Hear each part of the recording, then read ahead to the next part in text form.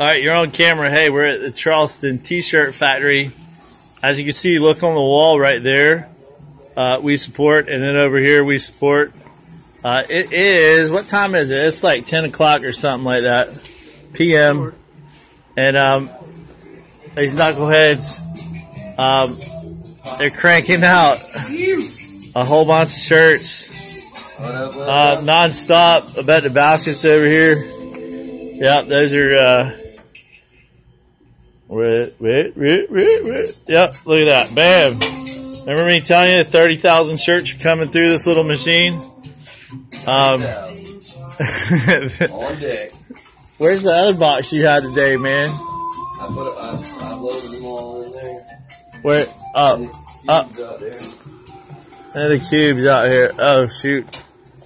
Anyway, um, we're about to do the, the backs. He's pulling up the computer. Anyway, this thing's slow. But long story short, it is what's today? Wednesday after the um, the hurricane is like the 12th or something like that, October. And um, just to give you a little update, so far we got five stores, five retailers that have paid to just the bare minimum just for the cost to get um, a rack and shirt started in the retail store. And then we still got tomorrow. Um, here, I'll show you what we got so far on this little thing. All right, so so far we got um, carpetbaggers, Southern Lumber, Meltzer Tile, Lansing, and what's not on here. Who else we got, man? Um, oh yeah, Buck Lumber. Don't forget those guys. Those were the first.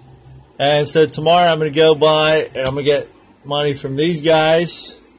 Probably those guys. They don't know it yet. Definitely these guys. Um, those guys. Those guys. And then we got some new ones. We got uh, or Orban's Furniture Store.